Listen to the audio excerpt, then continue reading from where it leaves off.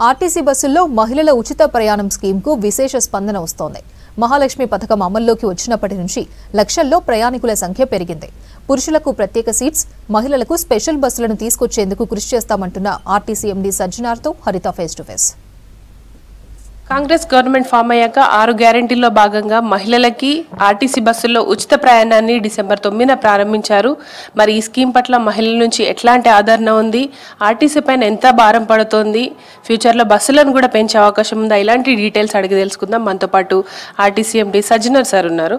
Sir చెప్పండి RTC కొత్తగా తీసుకున్న ఈ స్కీమ్ మహిళలకు ఉచిత ప్రయాణం బస్సుల్లో ఎట్లా ఉంది సార్? ఎంతవరకు ఓఆర్ వస్తుంది? మంచి స్పందన ఉంది చాలా అనూహ్య స్పందన ఉంది. మనకు అంతకుముందు ఈ ప్రీ నైన్త్ కంటే ముందు మనము సిక్స్టీ నైన్ పర్సెంట్ ఉండేది over average on and average. ఇప్పుడు చూస్తుంటే ఎయిటీ ఎయిట్ పర్సెంట్ పెరిగింది. కొన్ని డిపోస్ అంటే దాదాపు ఆల్మోస్ట్ నలభై ఐదు డిపోలు హండ్రెడ్ పర్సెంట్ ఓఆర్ వచ్చింది. సో మనము సో ఇది చూస్తుంటే చాలా మంచి స్పందన ఉంది. సో బాగా మన ప్రజల మహిళలు ఆడపిల్లలు ప్రయాణం చేస్తున్నారు. అంటే ఒక రోజులో గతంలో స్కీమ్కి ముందు ఎంత ప్రయాణించే వాళ్ళు అంటే ఓవరాల్ స్టేట్ వైడ్. ఈ స్కీమ్ వచ్చాక ఎంత ఎంత వరకు వస్తుంది సార్? దాదాపు మనం చూస్తుంటే thirty five to forty lakhs ప్రయాణం చేసేవాళ్ళు. ఇప్పుడు చూస్తే ఆల్మోస్ట్ యాభై ఒక్క లక్ష దాకా మనము ఈ బస్సెస్లో ప్రయాణం చేయడం జరుగుతుంది. దాంట్లో కూడా సగము ఆల్మోస్ట్ ముప్పై లక్షల మంది ఆడపిల్లలే మహిళలే ప్రయాణం చేయడం జరుగుతుంది. ఇప్పుడు స్టేట్ వైడ్గా చూసుకుంటే ఆర్టీసీ బస్సుల నుంచి పెంచాలి. మహిళలు ఎక్కువ ఎక్కుతున్నారు. మగవాళ్ళకి సీట్లు కూడా దొరకట్లేదు అనే ఒక నినాదాలు కూడా వినిపిస్తున్నాయి. చాలా వరకు జిల్లాల్లో కూడా బస్సులు పెంచాలి.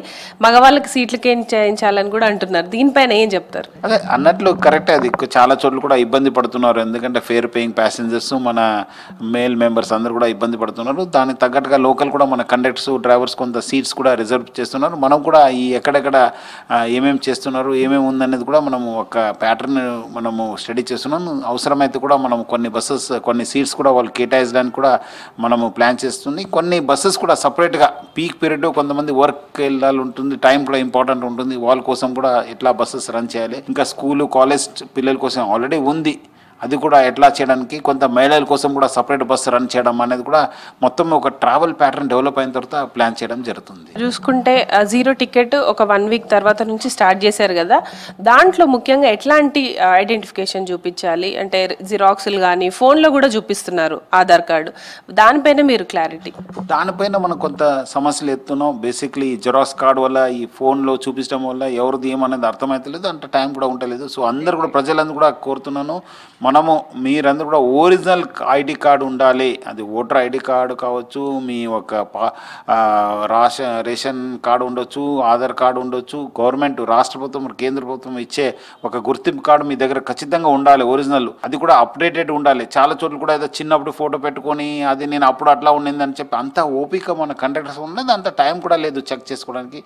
ప్రజలు అర్థం చేసుకొని మన వాళ్ళకి సహకరించాలని చెప్పి నేను మరి మరి కోరుతున్నాను. ఆర్టీసీ చూసుకుంటే గతంలో నష్టాల్లో కొనసాగింది. అండ్ ఇప్పటికి జీరో టికెట్ తీసుకొచ్చిన తర్వాత ఆర్టీసీ సంస్థ మీద ఎంత భారం పడుతుంది? దీనికోసం ప్రభుత్వం ఇప్పటివరకు ఏమైనా నిధులు ఇచ్చిందా? ఎట్లా ఉండబోతుంది ప్రభుత్వం మా ప్రభుత్వం ఆల్రెడీ హామీ ఇవ్వడం జరిగింది. ఎందుకంటే స్టార్ట్ అయ్యి కూడా టెన్ డేస్ అయింది కదా. సో మనకు కూడా మా అంచనాలు ఇవ్వడం జరిగింది. ఐ థింక్ వచ్చే రోజు డబ్బులు ఇస్తానని చెప్పి హామీ ఇవ్వడం జరిగింది. దాదాపు మనకు రెండు రెండు వందల యాభై కోటి రూపాయలు మనకు అవసరం ఉంటుంది నెలకు. నెలకు. సో టూ ఫిఫ్టీ క్రోర్స్ అవసరం ఉంటుంది మనకు. సో దాన్ని మనము రీంబర్స్ చేస్తారని చెప్పి కూడా చెప్పడం జరిగింది. సో డెఫినెట్లీ అది వస్తుందని చెప్పి నేను ఆశిస్తున్నాను. కొంతమంది మహిళలు జిల్లాలో చూసుకుంటే టీచర్లు కావచ్చు సిటీలో కూడా కొంతమంది అంటున్నారు సంస్థకు నష్టం కదా దీన్ని మేము స్వచ్ఛందంగా వదులుకుంటాం స్కీమ్ అని. ఇట్లాంటి పరిణామాలకి మీరేం చెప్తారు? ఇది మంచి శుభ పరిణామము సంతోషకరం అనిపిస్తుంది. వాళ్ళందరూ కూడా నేను పేరు పేరుగా అభినందిస్తున్నాను. సో అలాంటి వాళ్ళు డెఫినెట్లీ వాళ్ళు మా బస్సులో ప్రయాణం చేయాలి. వాళ్ళకి ఆల్రెడీ మనం అంతకుముందే మన దగ్గర బస్సెస్ బస్ పాస్ ఉన్నది మంత్లీ బస్ పాస్. అవి కంటిన్యూ చేసి వాళ్ళు ప్రయాణం చేయొచ్చు లేదంటే ఎవరు రెగ్యులర్ ప్లా ప్లా ట్రావెలర్స్ లేరు వాళ్ళు ఎప్పుడాದ್ರು ఎక్కే వాళ్ళు కూడా టికెట్ తీసుకోవచ్చు. వాళ్ళకి ఆప్షన్ ఉంది. మీరు వద్దంటే మీకు జీరో టికెట్ ఇస్తాను లేదా నేను డబ్బులు ఇస్తానంటే వాళ్ళకు డబ్బులు ఇచ్చే ఫెసిలిటీ కూడా ఉంది.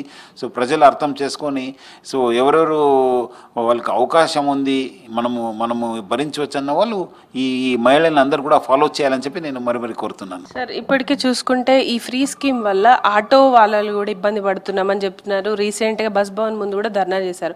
ఇట్లాంటి సమస్యల్ని ప్రభుత్వం దృష్టికి మన ఆర్టీసీ తరపున తీసుకెళ్తారా? ఎట్లా ఏం చెప్తారు? డెఫినెట్లీ మనము దీనివల్ల ఏమేమి అడ్వాంటేజెస్ ఉన్నో డిసడ్వాంటేజెస్ ఉన్నో డెఫినెట్లీ మనము ఆఫీసర్స్ దృష్టికి తీసుకెళ్తాను. రాష్ట్ర ప్రభుత్వం కూడా దృష్టికి తీసుకెళ్తాను.